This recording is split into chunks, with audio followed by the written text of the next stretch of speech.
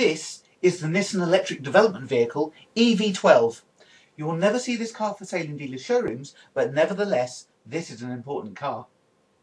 Underneath its exterior lies the mechanics and the drivetrain for Nissan's exciting new Leaf electric car. Nissan have been using EV12 to develop and evaluate the electric drivetrain for the Leaf and to make it as driver friendly as possible.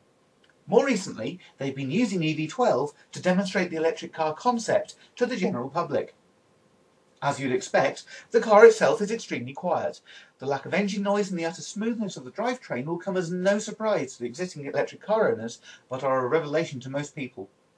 The performance is also very brisk with the high torque from the electric motor ensuring lively acceleration. Of course, from driving the EV12, it's not possible to say just how good the Leaf itself is going to be. But to get behind the wheel in that, unfortunately, we're going to have to wait just a little bit longer.